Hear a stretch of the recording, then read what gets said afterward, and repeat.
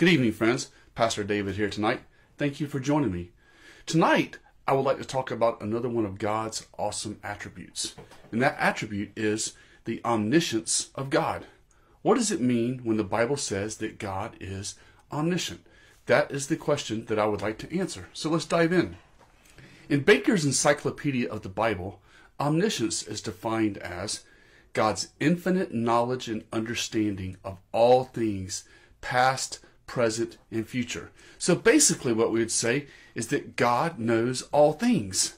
But what I want to do is I want to drill down and I want to look closely at what the Bible says about God's infinite knowledge, just so we have a better understanding of what the Bible says when it says that God is omniscient. So let's take a look at it. In Psalms 147, verse 5, it says, Great is our Lord and abundant in strength. His understanding is infinite. So the key word there in Psalms 147, verse 5, is infinite. God's understanding of all things, his knowledge is infinite. Oxford's dictionary defines the word infinite as limitless or endless in space, extent, or size. It's impossible to measure or calculate, and so is the omniscience of God. It is uh, limitless. He knows every detail of everything in this world. God knows every detail of every speck of dust on the planet Mars.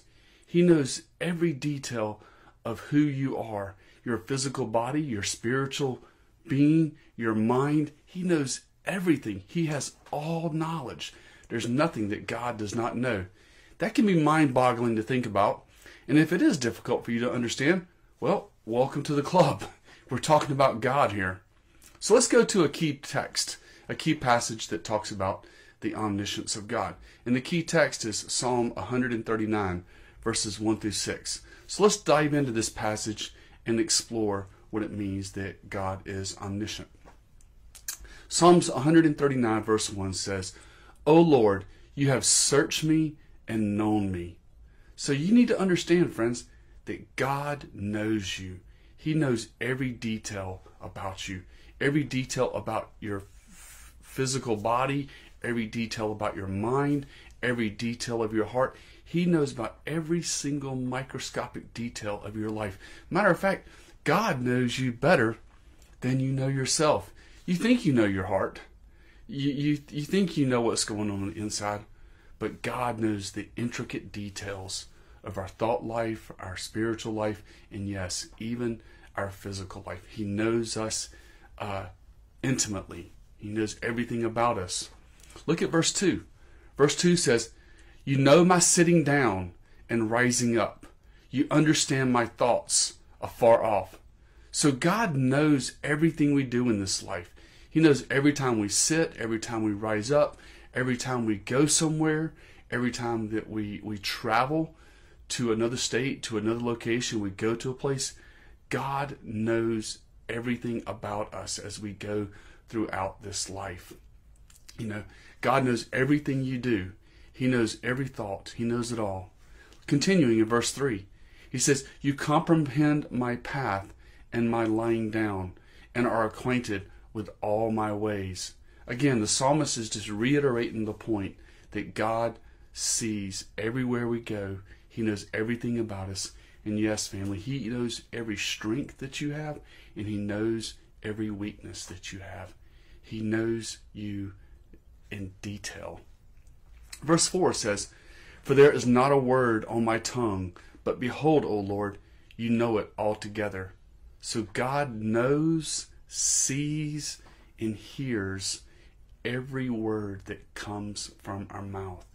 He knows the intent of every word. He knows the intentions in our heart behind every word that we speak. You know, that's why we need to be careful with our words. Our words can bless people, but our words can also tear people down. And we need to be remembered that we will be held accountable for every word that we speak, whether it's good or bad. Continuing on in um, verse 5 and 6, uh, Psalm 139 says, You have hedged me behind and before and laid your hand upon me. Such knowledge is too wonderful for me. It is high, I cannot attain it. So even the psalmist, the, the author of Holy Scripture, who wrote Psalms 147, he even expresses his inability to fully understand the omniscience of God, the infinite knowledge. God's infinite knowledge is beyond our understanding. You see, there is nothing that God does not know. This is mind boggling and hard to get our minds wrapped around, but it's the truth of who God is. You know, who would you consider to be the smartest person of all time? Would it be Albert Einstein? Would it be Stephen Hawkins? Who would it be? Friends and family, the smartest man on this planet, whoever that may be, they have about five ounces of brain inside their skull. And there's not but so much information you can fit in that brain. Now, when you consider the size of man's brain to the size of this universe, that's how big God's mind is. This universe is endless in every direction, it's infinite. And so, the same thing could be said of God's infinite knowledge of all things. He knows all things because He is the uh, creator of the universe. So, a, a question that we um, we like to talk about when we talk about the omniscience of God is this: What does God's omniscience have to do with you and me? And also, what does God's omniscience have to do with the gospel? Well, the answer to that question can be found in Hebrews chapter 4, verse 13. How does the omniscience of God apply to you and me? Hebrews chapter 4, verse 13 says, And there is no creature hidden from his sight, but all things are naked and open to the eyes of him to whom we must give an account. You see, friends and family, God in his infinite knowledge infinite uh, knowing all things, he knows every thought, every word, every action, everything that we do in this life. He sees it and he knows it. He knows all the good things we do. He knows all the bad things that we do. He knows our um, our secret sins, our physical sins. He knows the sins that go through our head. He knows every thought, word, and action that goes through our heart and mind. And the scripture teaches that He is going to hold you and I accountable. There, there's coming a day where He's going to judge the world in righteousness. Hebrews chapter 9, verse 27 says, It's appointed once a man to die and then face judgment. And every single person, every single human being is going to be held accountable for every thought, word, and action. And God knows them all because God is omniscience. So the omniscience of God can be scary. It can be scary for the unbeliever to know that you can be held accountable for everything because God knows everything that you've ever done. But friends, there's a better way. There's a way to be forgiven of every thought, word, deed, and action. Yes, God knows everything that we've ever done, but He's made a way for us to be forgiven of all of our sins, including the secret sins, the sins in our mind, the sins in our heart. You see, the Bible says this this is what God did for you so that you could be forgiven of all the sins that you've ever committed. At the appointed time, God sent forth His Son born of a virgin, lived a sinless and perfect life, and suffered and died on the cross so that you and I could be forgiven of all of our sins. You see, when you receive Jesus Christ as your Lord and Savior, when you put your trust in Him and you become a born again Christian, all the sins that you've ever committed, and God knows each and every single one, He forgives you. He washes you clean. He places them under the blood of the Lord Jesus Christ.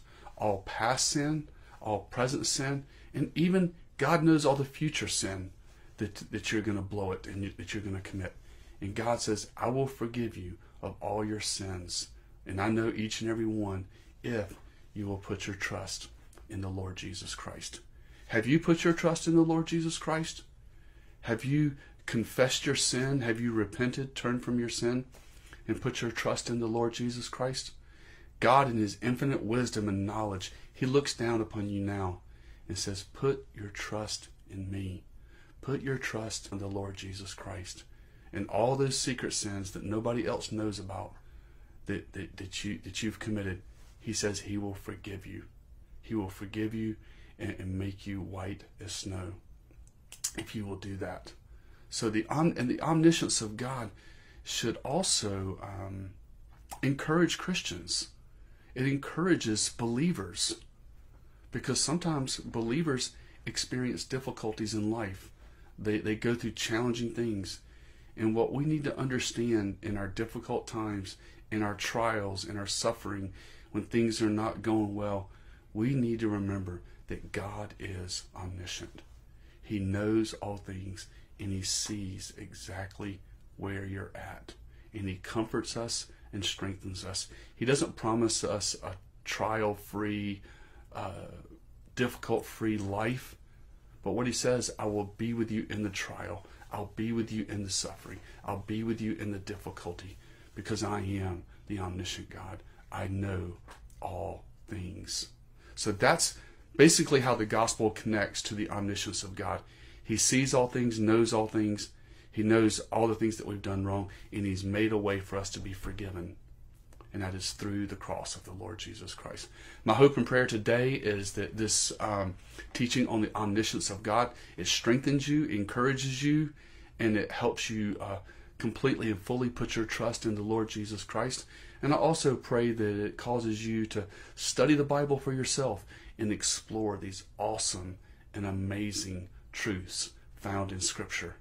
They're there waiting for you. All you have to do is open your Bible and read and understand them and understand how amazing and how awesome God is because He is truly the omniscient God.